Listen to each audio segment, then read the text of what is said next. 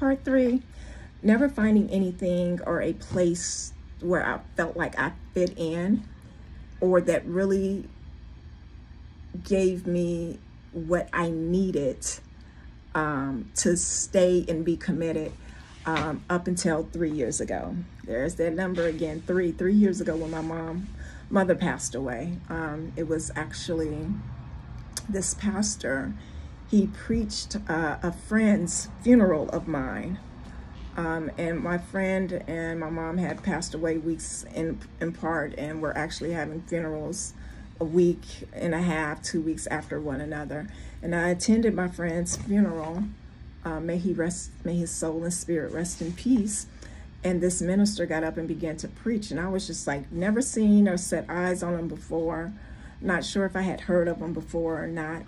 Um, but as he was preaching, I can just hear my spirit rejoicing. and was like, he's going to preach your mother's funeral. I'm like, God, I don't know this man for, from anything.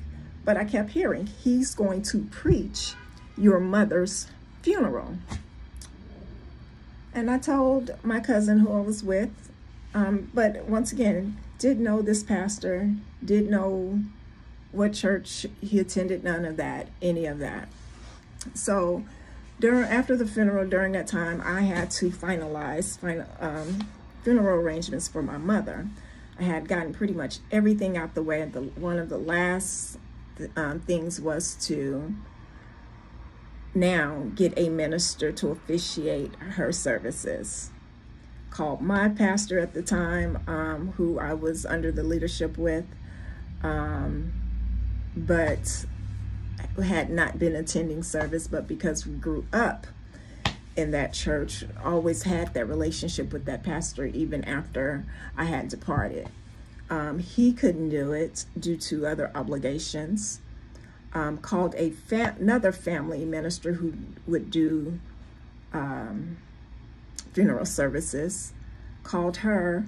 Unfortunately, she couldn't do it because she would be out of town. And she was like, if I was in town, I would definitely do it for you and the family. But unfortunately, I will not be in town.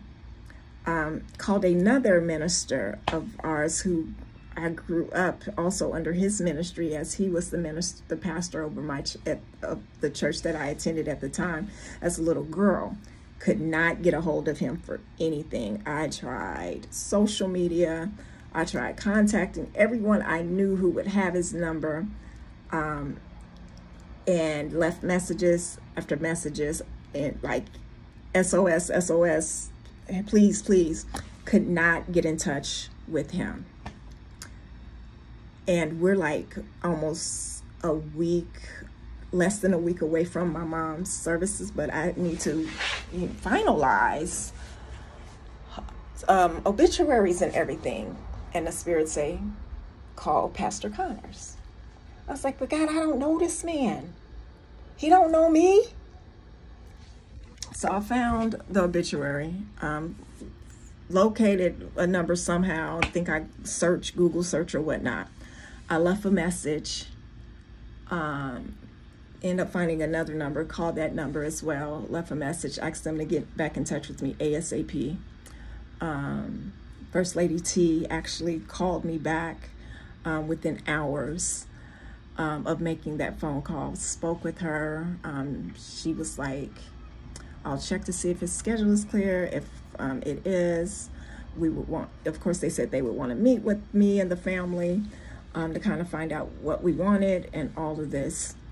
So um, she called me back later that night and I had, I think I needed to finalize the obituary like just within hours of that night.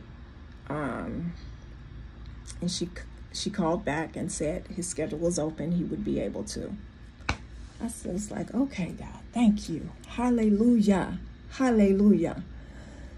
So finalized the obituary um, ended up meeting with pastor, um, with the pastor and his wife.